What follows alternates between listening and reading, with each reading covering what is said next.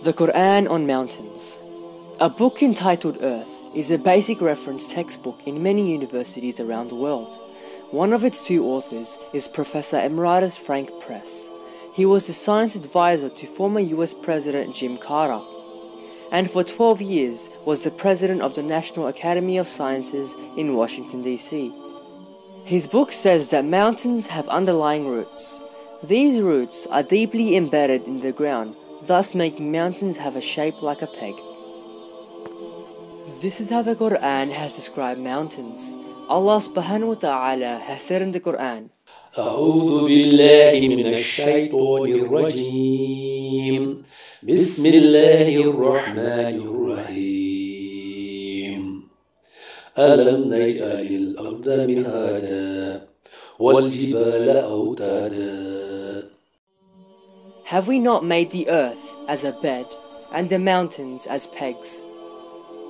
Modern earth sciences have proven that mountains have deep roots under the surface of the ground, and that these roots can reach several times the elevations above the surface of the ground.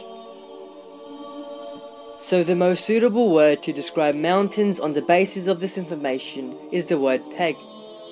Since most of a properly set peg is hidden under the surface of the ground, the history of science tells us that the theory of mountains having deep roots was introduced only in the later half of the 19th century. Mountains also play an important role in stabilizing the crust of the earth. They hinder the shaking of the earth. Allah subhanahu wa ta'ala has said in the Quran, أعوذ بالله من الشيطان الرجيم. بسم الله الرحمن الرحيم. وألقى في الأرض رواسي أن تميد بكم وأنهارا. وسبلا لعلكم تهتدون. And he has set firm mountains in the earth so that it would not shake with you. Likewise, the modern theory of plate tectonics holds that mountains work as stabilizers for the Earth.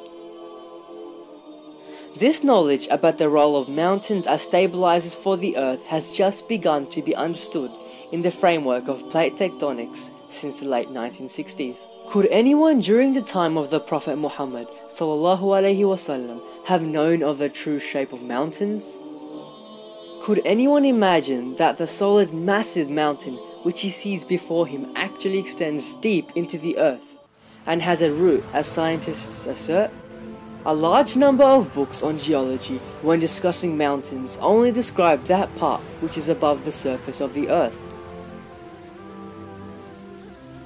This is because these books were not written by specialists in geology. However, modern geology has confirmed the truth of the Quranic verses.